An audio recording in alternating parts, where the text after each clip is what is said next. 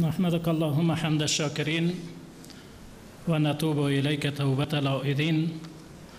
نصلي ونسلم على سيدنا ونبينا محمد بن عبد الله وعلى آله وصحبه ومن والاه.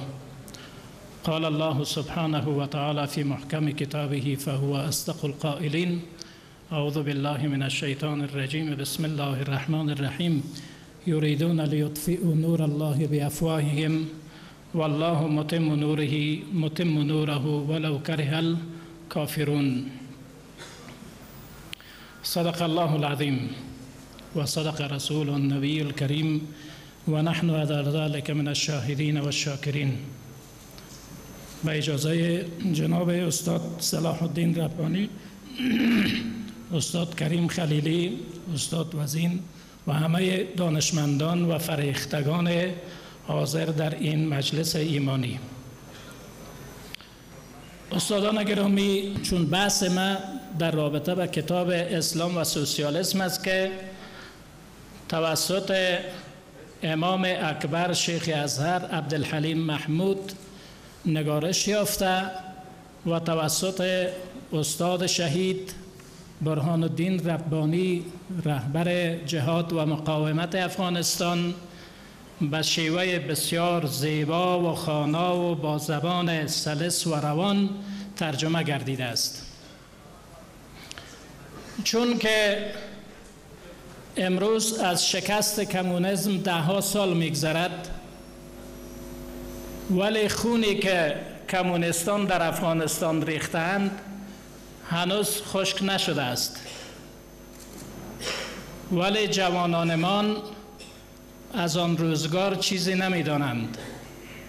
من هم یکی از وارثین شهدا هستم که پدر خود را و یک برادر خود را در زمان حفیظ امین از دست دادم و در آن لست پنج هزار نفری نامشان بیرون شد. من همین درد را با استخوان خود احساس می کنم که چگونه یک انسان پدر و برادر یا فرزند و یا خواهر خود را توسط یک رژیم دتمنش از دست می دهد ولی سالها بعد بلکه ده ها سال بعد کتابی را می خواند که همان دردها را با تو شریک می سازد باور داشته باشید وقتی که این کتاب را می خواندم جنایت هایی را که کمونست ها در کشورهای مختلف انجام دادند عین همان جنایت هایی است که در افغانستان انجام یافته بود.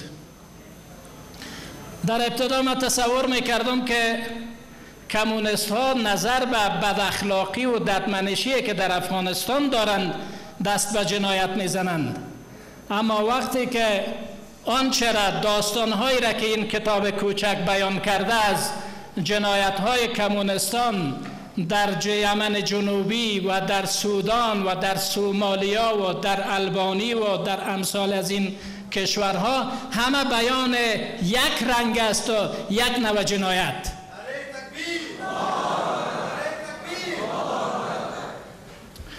برادران محترم ما کتاب دارای یک مقدمه مترجم و مقدمه کوتاهی از معلف و دارای شش فصل است. در فصل اولش در رابطه به عنوانش از عوامل و انگیزه ها امام اکبر تحت از این عنوان یک داستان کوتاهی را شروع می کند می گوید یک ژورنالیست به نام محمد عبدالرحمن نزد ما آمد سوالهای مختلفی کرد. در یکی از سوالهایش بود که آیا من می توانم که هم مسلمان باشم و هم کمونست. از همینجا قصه شروع میشه. عبدالحلیم محمود در این رابطه بیان می کند که اول خبرش ای را گفتم که در کدام نقاط است که اسلام با سوسیالیسم هیچ همخانی ندارند به هیچ عنوان. و جنایت هایی که کمونست ها در نقاط مختلف جهان کردن به علیه مسلمانان به طور اخص و در رابطه به این که آنها با مقدسترین مقدسات مسلمان ها که عبارت از وجود الله جل جلاله است با او سر دشمنی دارند و او را نمیپذیرند و واضح و روشن می‌گویند که ما وجود خدا را قبول نداریم و آرای لینن در چند جای نقل می‌کند که لینن می‌گوید که ما چیزی به نام خدا نمی‌شناسیم. که مقدسترین نقطه است که یک مسلمان به او ایمان دارد؟ پس چگونه می شود که هم یک شخص مسلمان باشد و هم یک سوسیالیست باشد؟ همین طور باز اشاره می کند به ای که در روزنامه های مصری علیه شیخ ازهر تاخت و تاز صورت می گیرد ولی علمای مسلمان به خاطر دفاع از شیخ ازهر هیچ نوع اقدام جدی انجام نمیدن. و باز مثال می آورد می گوید که وقتی که رئیس جمهور امریکای او زمان یاد می کند که وقتی که به واتیکان رفت و همچنان ملکه بریتانیا الیزابت که به بریتانیا رفت اردو دستهای پاپ را بوسیدند. حالا که شیخ ازهر حالا که شیخ الازهر ظاهرا تمثیل کننده اسلام و مسلمان ها است. وقتی که شیخ الازهر مورد تاخت و تاز و توهین و تحقیر ددمنشانه کمونستان قرار می‌گیرد توسط خود مسلمان ها خود اسلامگراها دفاع صورت نمی‌گیرد این جای گله دارد. آنها که مسیحی ها می روند رئیس جمهور دست پاپ را می بوسد اما در این بر یک مسلمان مسلمان عادی نه بلکه شخصی که تمثیل کننده اسلام است. به او تاخت و تاز صورت می‌گیرد از او دفاع صورت نمی‌گیرد. در فصل دومش تحت عنوان مسلک کمونیسم و مؤسس در رابطه به حق مالکیت فردی و مسئله نظام اقتصادی و نظام اخلاقی و نظام سیاسی و این مسائل را مورد بحث قرار میده و نقطه نظر اسلام در هر موردی از اون هم بحث می‌کند و مقایسه می‌کند با دیدگاه و نظریات مؤسسین و بنیانگذاران کمونیسم. و نشان میده که در هیچ یکی از این ابعاد که مربوط به وضعیت زندگی انسان میشه و به حیات انسان تعلق می‌گیرد. در هیچ یکی از اینها اسلام با کمونیسم همخانی و سر آشتی ندارد. و بعد از او در رابطه به شخصیت مارکس صحبت می‌کند و مارکس می‌گوید که یک انسان کودن بیکاره بود که به حتی به اندازه بیکاره بود که به هیچ وقت در طول زندگی خود کار و وظیفه نداشت. گاهی از خواهر خود پول و امکانات می‌گیره گفت گاهی از مادرش و گاهی از یک شخص دیگر حتی انگلس که رفیق بسیار نزدیکش هم بود که مدت او همکاریش می‌کرد بالاخره او هم دست از همکاریش برداشت. در فصل سومش در رابطه به منشه کمونیسم یاد می کند می گوید که منشه کمونیسم سهیونیسم است. سهیونیسم هم دست ساخته یهود است کمونیسم هم دست ساخته یهود. ولی کمونیسم از, از سهیونیسم نشأت می‌گیرد و در واقع تعبیر می کند می گوید که سهیونیسم مادر کمونیسم است. شک نیست که در شاید در کشور ما نسل جوان ما در رابطه با سیونیزم خیلی اطلاعات واضح و روشن نداشته باشند. اما عرب ها که در اونجا در کنار اسرائیل قرار دارند و جنایت های سهیونیزم را در اونجا با چشم خود دیدن می‌فهمند که سهیونیزم یعنی چه.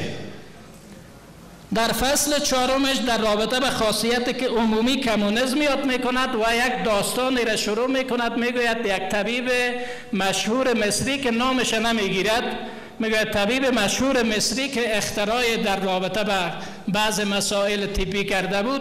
از او دعوت می شود در شوروی که تا در اونجا در رابطه به اختراع خودم صحبت بکند.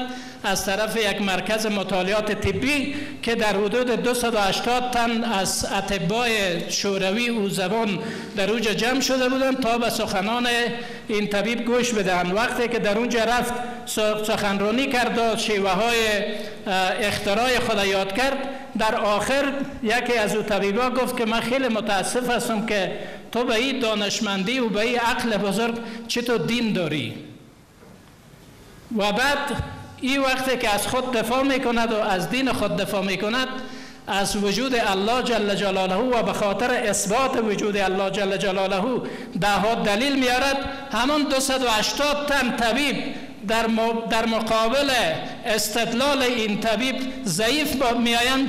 بالاخره وقتی که رئیس مرکز ناگزیر می شود که این جلسه را قطع بکند و بیاید رشته سخن به دست خود می‌گیرد و می‌گوید که من متاسف هستم که این طبیب که مهمان ما است سخنان بهوده و احمقانه می‌گوید و به همین جا سخن خدا خاتمه میبخشد.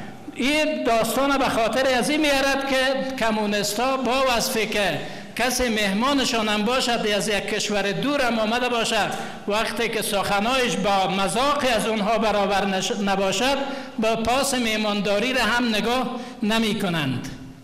و در پنجمش عنوان فصل پنجم است اسلوب کمونستان در این رابطه بعد اسلوبی را که کمونستا در شیوه های کار خود به کار می‌برند. میگه اول اولین کاری که می‌کنند ای است که مسلمان ها را و اسلامگراها را انسان هایی را که می‌فهمند در میان مردم جایگاه بلندی دارند و مردم به او احترام می‌کنند و اسلامگرا هستند.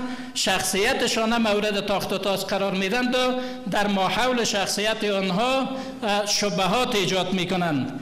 و بعد وقتی که به پیروزی می‌رسند باز امو شخصیت ها را یا به زندان می‌برند و یا می‌کشند. هم چه کاری را هم در مصر کردن و هم در یمن جنوبی کردن هم در البانیا کردن هم در آذربایجان کردن هم در جاهای دیگری. و در فصل ششمش عنوانش از روش پست و الحاد آشکارا. در این فصل خود یاد می کند که اول خواه کمونستا را تشبیه می کند به حیوانات لاشخار. میگه کمونیستا مانند حیوانات لاشخوار هستند حیوانات لاشخوار هم وقتی که بالای امو حیوانی را که حمله کردند و دریدند آماده خوردن میشن یک نوع آواز و غرشی از او بیرون می شود که دال بری است که چقدر دتمنشانه می خواهد که گوشتی از این حیوان به اصطلاح پاره پاره بکند. این میگه که کمونستان همینطور یک حالت دارن که اولین کاری را که شروع می‌کنن با الفاظ رکیک و با دو و دشنام ها به جانب مقابل خود شروع می‌کنن.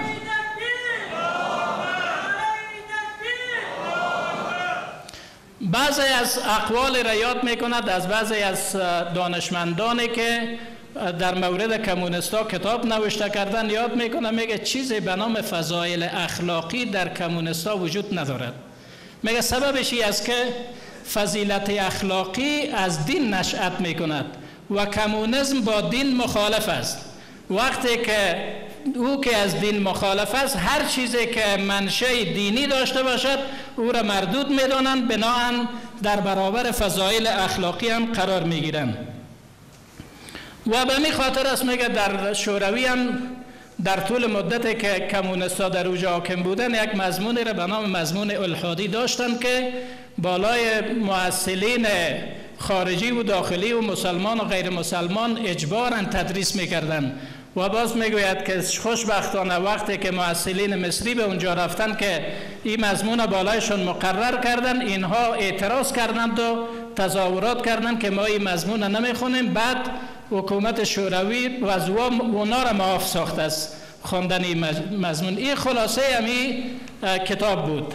در رابطه به مقدمه مترجم چند نکته را عرض می‌کنم. در ابتدا استاد شهید در رابطه به اندیشه کمونیستی و جنایت هایی که کمونیست در مجموع انجام میتن در او رابطه صحبت می‌کند و بعد زمان داوود خان را مورد بحث و بررسی قرار میده. باور داشته باشید که متا پیش از اینکه این مقاله را بخوانم تصور می‌کنم که داوود خان در مقابل کمونستا بود یا بر علیه کمونستا بود. شاید همینطور در چی قرار گرفته و نظر به مسلحت ها با اونا امراه بود یا اونا رو با خود امراه ساخته بود. اما وقتی این مقاله را خوندم احساس کردم که کمونست یک سر قدم از کمونستان کرده کمونستر بودن یک قدم پیشتر بوده. تمام جرم و جنایت هایی که داوود خان می‌کرد نشأت از کمونست, بودنش می‌کرده. نه اینکه او مشکل دیگری داشته. در مجموع برادرای محترم این کتاب یک کتاب بسیار زیبایی است. حالا هم جایی از ایره می‌دانم که نسل جوان ما ایره بخوانند و از مطالب زیبایش حظ ببرند. و کاری که مرکز تدوین کرده خوشبختانه کارهای بسیار شایسته و زیبایی را انجام داده که من به چند نقطه از او اشاره می‌کنم.